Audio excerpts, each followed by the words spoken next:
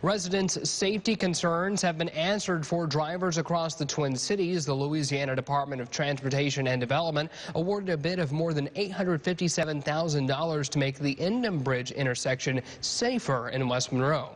NBC 10's Maya Hudgens talked with the DOTD about their future plans. Maya, what can residents expect?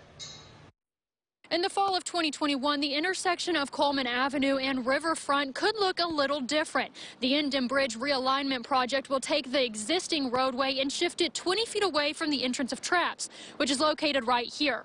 Now, this will allow drivers a safe and visible turn onto Endom Bridge. When I talk to those in the community, they're really excited about this change. So a lot of people in our area, they're very concerned about this intersection because it is, you know, there's a lot of hazard to it. I mean, you can barely see one direction, the other direction's coming in really fast. Right now, everyone coming from South Riverfront has to stop and can't see down the bridge due to the brick wall. That will change as the intersection is moved. DOTD says this project will create a two-way stop for Riverfront and Coleman Avenue, cutting down on accidents. It's going to create more safety and hopefully cut down on some of the, you know, the, the wrecks and, you know, some of the car accidents and, and you know, fender benders. So I think it's a really good thing. I think it's a good change for our, our community. For residents who use this bridge on a daily basis, they see more than just an increase in safety. Improving the roads will keep people off I-20 and help the foot traffic for both downtown Monroe and West Monroe. I have a business down on DeSiard Street, and so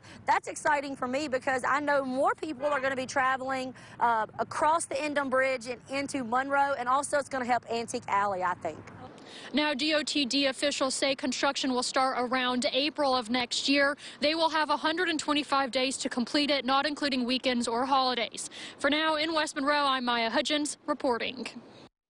All right, Maya, thank you. In addition to the realignment project, DOTD will also improve some minor drainage issues. Sidewalks and pedestrian crossings will also be added to both sides of the street.